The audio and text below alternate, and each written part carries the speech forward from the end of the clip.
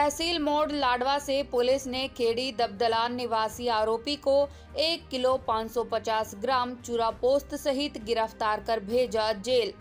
जिला पुलिस ने नशीला पदार्थ रखने के आरोपी को गिरफ़्तार किया है। थाना लाडवा पुलिस की टीम ने नशीला पदार्थ रखने के आरोप में मुकेश कुमार पुत्र पाला रामवासी खेड़ी दबदलान थाना लाडवा जिला कुरुक्षेत्र को गिरफ़्तार कर उसके कब्जे से एक किलो 550 ग्राम चूरा पोस्त बरामद करने में सफलता हासिल की है। जानकारी देते हुए जिला पुलिस प्रवक्ता नरेश कुमार सागवाल ने बताया कि 4 सितंबर 2023 को थाना लाडवा के उप निरीक्षक प्रदीप कुमार उप निरीक्षक अशोक कुमार, मुख्य सिपाही प्रवेश कुमार, सिपाही अरुण कुमार व एसपीओ विक्रम सिंह व गाड़ी ड्राइवर विकास कुमार की टीम अपराध की तलाश में बाबैन चौक लाडवा पर मौजूद थी। पुलिस टीम को सूचना मिली कि मुकेश कुमार चूरा पोस्ट बेचने का काम करता है। आज भी अपने घर से चूरा पोस्ट बेचने के लिए मोटरसाइकिल पर तहसील मोड़ लाडवा की तरफ़ आएगा।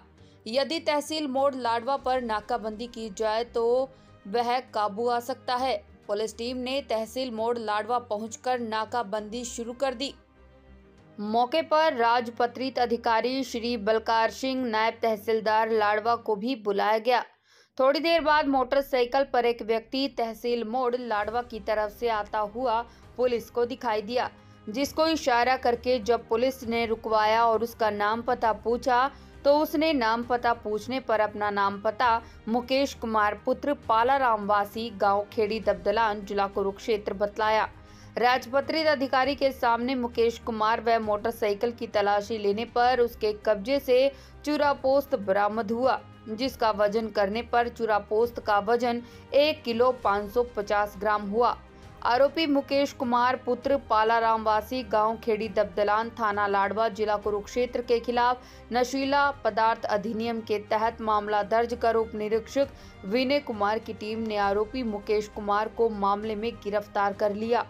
आरोपी को अदालत में पेश किया गया और अदालत के आदेश से जिला कारागार भेज दिया गया है।